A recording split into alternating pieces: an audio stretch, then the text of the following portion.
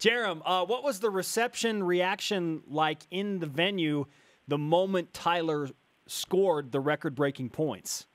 Very cool. And I tweeted uh, a video, uh, put it on YouTube from my perspective, kind of on the concourse opposite the BYU, uh, kitty corner opposite high, the BYU bench.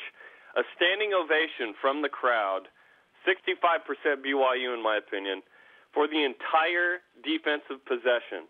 A banner was unfurled, as High on a Mountaintop said, prophesying Tyler's passing Jimmer, uh, him five. Uh, congratulating Jimmer that uh, The ROC and BYU Athletic Marketing had prepared, which was nicely done. P. Norton and uh, Garrett Rose involved in that. And that crowd knew what was going on. I saw a ton of signs. There was a ton of reception for BYU basketball. BYU Sports Nation got huge love. It was amazing. Those fans were really good. And I tweeted this out last night.